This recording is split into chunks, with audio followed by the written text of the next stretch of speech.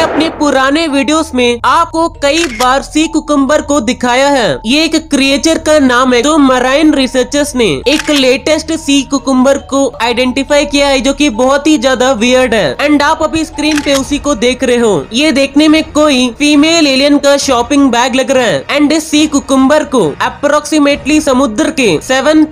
feet अंदर खोजा गया था जो की काफी ज्यादा इंटरेस्टिंग है खास हम भी इसे लाइव में देख पाते सो so सैड वीडियो को लाइक करके ही जाना